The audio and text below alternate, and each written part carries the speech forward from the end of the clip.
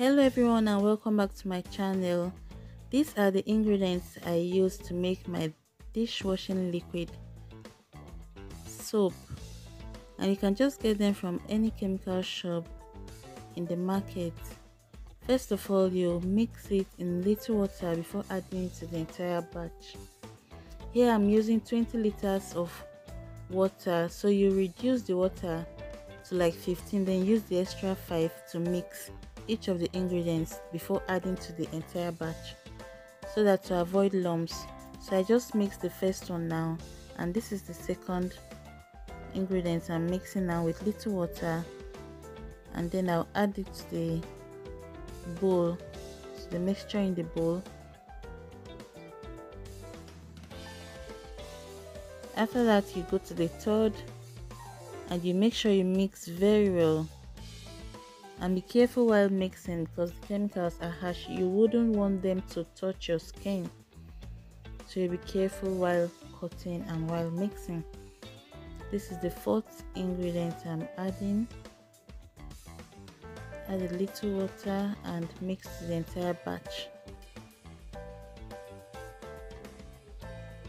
And stir immediately to avoid lumps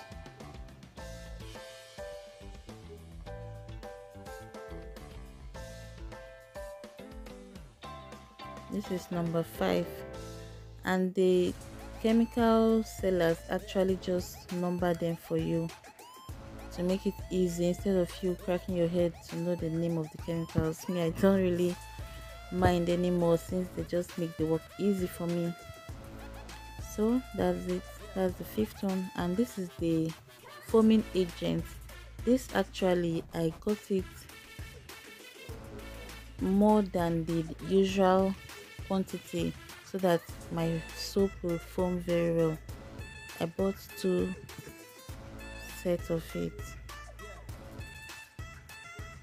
This is number six and you just stir it in little water and add to the mixture and stir continuously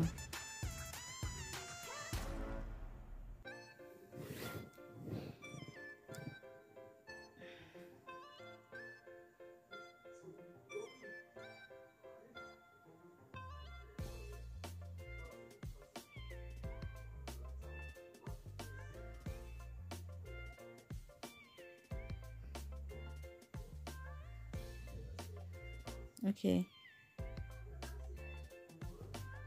This is the color. I'm using green color here and you can just decide to use any color of your choice.